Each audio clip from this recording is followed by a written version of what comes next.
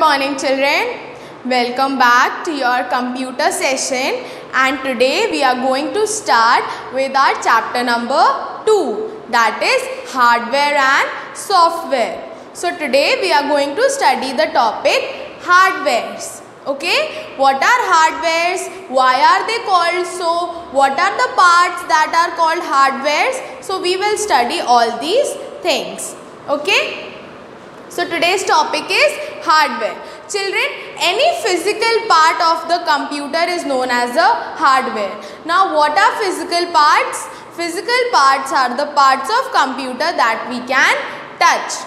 तो हार्डवेयर्स कौन से पार्ट होते हैं हार्डवेयर्स फ़िज़िकल पार्ट्स होते हैं कंप्यूटर के that we can touch physical parts कौन से होते हैं that can be touched physical parts कौन से होते हैं? Physical physical means touching so physical parts का मीन्स होता है जिनको हम टच कर सकते हैं. They are known as hardwares okay some examples of hardwares are keyboard CPU that is in the CPU box, printer, monitor, mouse, and speakers. So, these are the hardwares. हम keyboard को भी touch करके चला सकते हैं। CPU box के अंदर CPU होता है, जो छोटा सा चिप होता है। उस चिप को भी हम टच कर सकते हैं। So that is also a hardware device then printer को हम टच कर सकते हैं। We can touch the monitor we can touch the mouse as well as we can touch the speakers so जिन भी चीज़ों को हम टच कर सकते हैं they are known as the hardware devices. Okay? Now children hardware devices are also classified into three types. That is the ipo type. Hardwares are classified into ipo devices.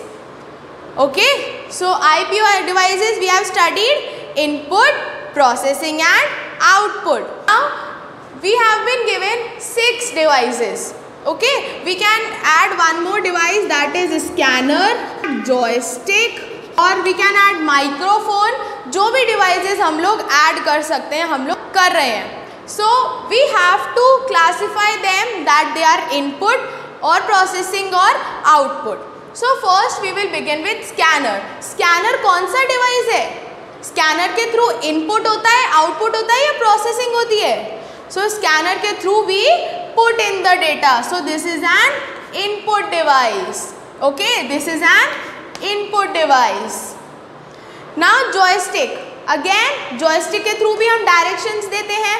हम data input करते हैं, हम instruction देते हैं computer को what we want and what it should do so this is also an input device next is keyboard we type on the keyboard and give we give the command or the instructions to computer. So this is also an input device.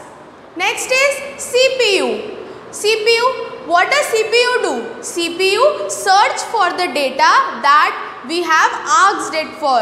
We have asked to search something on google so cpu will process the same and will search the answer for me. So cpu is a processing device. So I will write P here. Next is printer. You can see the picture of printer.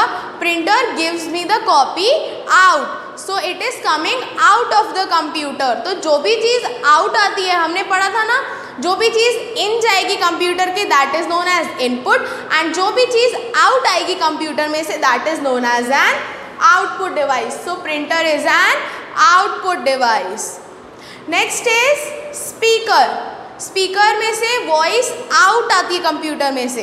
So we will classify it as output device okay next is mouse mouse से हम instructions देते हैं या लेते हैं computer में से? We give the instructions और command to the computer so mouse is an input device mouse is a input device next is monitor monitor क्या करता है? Monitor helps us to see the answer और the result that the computer has search from for me तो processing में जो भी result computer ने search किया है मॉनिटर से वो हमें डिस्प्ले होता है, दिखता है. So monitor is the output device okay so यही पार्ट्स होते हैं कंप्यूटर के. इन्हीं को हम लोग क्या बोलते हैं?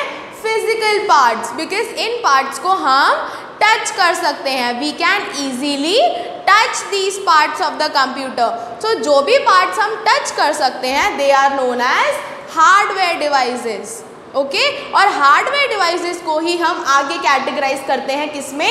इनपुट प्रोसेसिंग एंड आउटपुट में.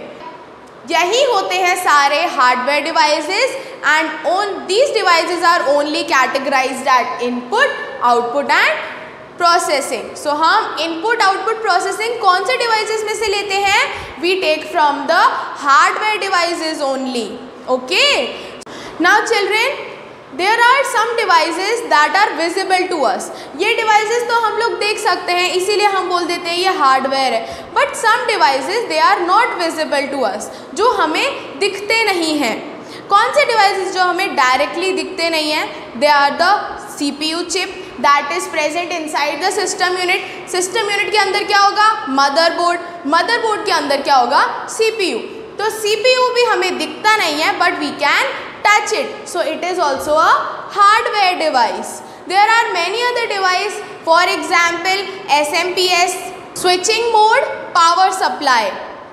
SMPS का full form the word SMPS is given in your book. So what is the meaning of SMPS switching mode power supply which is the wires that are connecting inside the CPU. CPU के अंदर बहुत सारी wiring होती है। Okay, some of the wiring is that it, the plug of the CPU has to be connected with the power supply socket जहाँ से electricity computer को मिलेगी। So those wiring from where the power supply that is the electricity goes in the computer that part is known as the और those wirings are known as the S M P S M P S switching mode power supply I will write your so I have written switching mode power supply that is from the wires that the power supply from the electricity socket is sent to the आप electricity socket में लगाते हो this is the three pin board that you have on the wall from which electricity passes inside the CPU and it helps the computer to switch on तो यहाँ पर electricity में से जो भी power supply that goes in the C P U for starting the computer those are those wirings are known as S M P S switching mode power supply for giving the electricity supply to the computer. So there are many other wirings that are present inside the computer which we cannot see. For example CPU में बहुत सारी चीज़ें होती है बहुत सारी devices होती है motherboard होता है SMPS होता है ओके okay, RAM होता है RAM RAM मतलब random access memory which is the internal memory of the computer. computer के अंदर की खुद की memory कंप्यूटर की, खुद की मेमोरी को हम क्या बोलते हैं? We call it RAM R A M random access memory तो कंप्यूटर की इंटरनल खुद की मेमोरी को हम लोग क्या बोलते हैं? Random access memory that is the memory of the internal computer ठीक है? So these things we can not see children but they are physically present अगर हम सी पी यू के बॉक्स को खोलेंगे for example it is shown in your book see children अगर हम C P U के बॉक्स को ऐसे ओपन करेंगे वन साइड से तो we can see the motherboard also and we can see the RAM also that is the memory so these are the memories that are stored in the C P U box तो जब हम C P U box को open करेंगे, खोलेंगे that time we can see all these things okay so all these things are present inside that is if we open the cpu box we can touch those parts also so those parts will also be called as the hardware devices उन parts को भी हम क्या बोलेंगे hardware devices तो ये सब parts तो हमें कंप्यूटर के दिख जाते हैं बट कुछ पार्ट्स हैं जो अंदर होते हैं सीपीयू बॉक्स के and we can not see them and but because we cannot see them or touch them we cannot say that they are not hardwares okay because अगर हम सी पी यू बॉक्स को खोलेंगे तो हमें वो devices भी दिख जाएँगे और टच भी कर करने को मिल जाएँगे so they are also the physical parts they can also be touched so they are also known as the hardware devices okay children? So you have seen pictures of some hardware devices. Now i have told you which is input which is output. So children on the basis of this you can easily do the exercise that is given to you on page number 17 you can see this is page number 17 this is the exercise in which you have to tell that the device the hardware device that is shown here is of input device output or processing तो आपको इनको categorize करना है okay so children this was all for today today we have studied what is hardware device what are the devices that can be categorized at input output and processing in the hardware devices okay i hope you must have understood this and in the next session we will learn about the software devices Till then, bye-bye, have a good day and take care of yourself.